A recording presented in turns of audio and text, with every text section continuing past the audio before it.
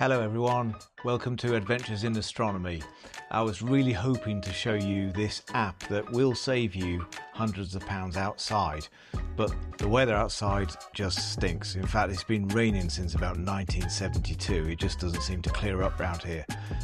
But that's not going to stop me showing you this app indoors so that if you want to download it for £1.99 from the App Store, um, then you can use it too. You are going to need one of these, an iPhone.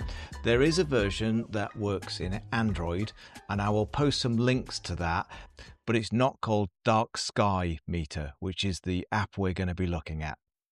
It might be worth understanding why you'd want to use an SQM meter. Well, if you're an astrophotographer, you really want to gauge how dark the skies are. Are you in a good location for astrophotography?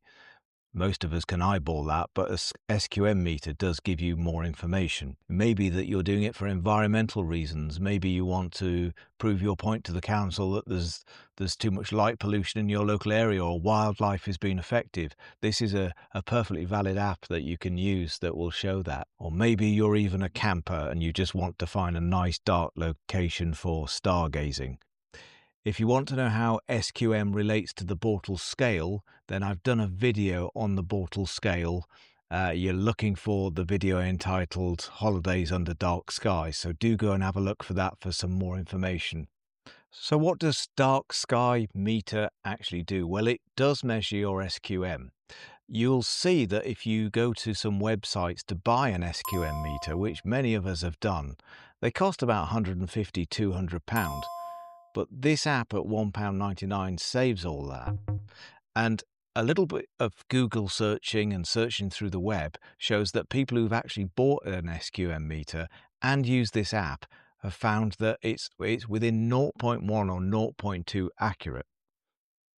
Now, on the SQM meter in the app, you'll find that 0.1, 0.2 is, is still incredibly accurate with a properly dedicated SQM meter. So it's well worth the money. So I'm going to show you this app and uh, on the on-screen controls, you'll see uh, a couple of my favorite apps there, but we're going to hit Dark Sky Meter. I can't believe how many people don't actually know this app exists. Um, it's one I've talked to other people before and they weren't aware of it. So hopefully this really raises the profile. Um, and it, its interface is incredibly easy. So down at the bottom, you've got the meter part, which is the, the bit that we're going to concentrate on. I wouldn't actually recommend the some of the other tabs. So the clouds bit will basically give you a forecast. But if you're booting this up from scratch, it can actually take a little bit of time to find out um, the, the, the cloud and the seeing. It's useful, but it can take a little bit of a while.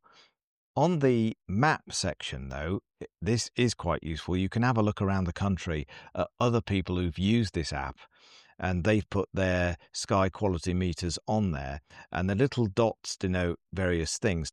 So the yellow dot denotes uh, not great quality readings, whereas the black dots indicate reasonably good dark skies. So if we go to the actual meter section itself, it's such an easy interface. All you've got to do is take a dark. And to do the dark, uh, you you press the dark button, then you cover your camera sensor. I usually do mine just with my hand. And there it is, it's done. And then all you've got to do is aim your camera up at the sky and press button number two, and it takes a sky reading. Obviously, as we're not outside and it's raining, we're, we're not going to actually, we have actually got a reading from my skylight above. So 16.89, that would be pretty terrible. By the way, just a little bit of information about what these numbers actually mean. An SQM of uh, 18 or less is, is, is pretty poor skies. On screen, there is a table that maps it to the Bortle scale. So uh, that would be nine. It would be a very light polluted uh, city area, perhaps. But it starts to go down the scale. Once you get to 20 to 20.7, you're in fairly decent skies. And the vast majority of my readings have come in around 20.7, if not a little bit higher at 21. So I'm often where I live between the Bortle 4 and 5 scale.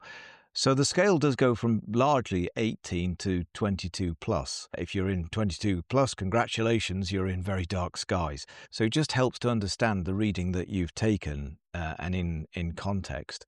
So it can be quite fun to to go around in various locations. And of course, of course your phone's always in your pocket. You can be a, a, a star party or whatever to get a quick glance of what the sky quality is like.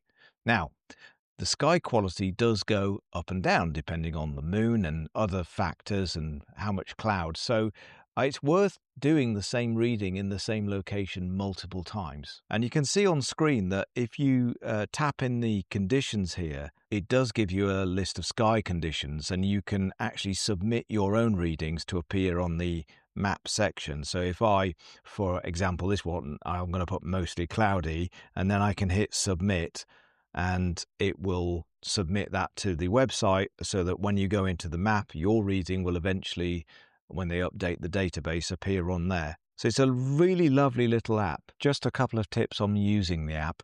Obviously, you want to avoid any street lighting nearby, so it's best to take your readings in as, in as dark a location as possible away from the light. Obviously, that's not possible for everybody. You also want to be avoiding using it when the moon is out at 80% plus, let's say, because it's going to give you a very false reading. I would really recommend taking multiple readings over multiple nights, maybe in the same spot in your back garden or whatever, and just have the same reading and average it out over five times or, or whatever to get more of an accurate reading because it is going to change and go slightly up and down depending on cloud, light, moon phases, all of those things will affect the readings. Now, if you've enjoyed today's video, then please hit the subscribe button and like the video. For more content, I tend to produce content every fortnight, fresh things coming out all the time. I'm going to get to some gear reviews soon, and uh, we'll be taking advantage of uh, hopefully some sales coming up. But in the meantime, why don't you use this app to see your sky conditions and post them in the comments? What's the darkest skies that you can get under? Nice little challenge, perhaps, to see how you get on. I hope you've really enjoyed this video. My name's Martin. You've been watching Adventures in Astronomy. I'll see you soon.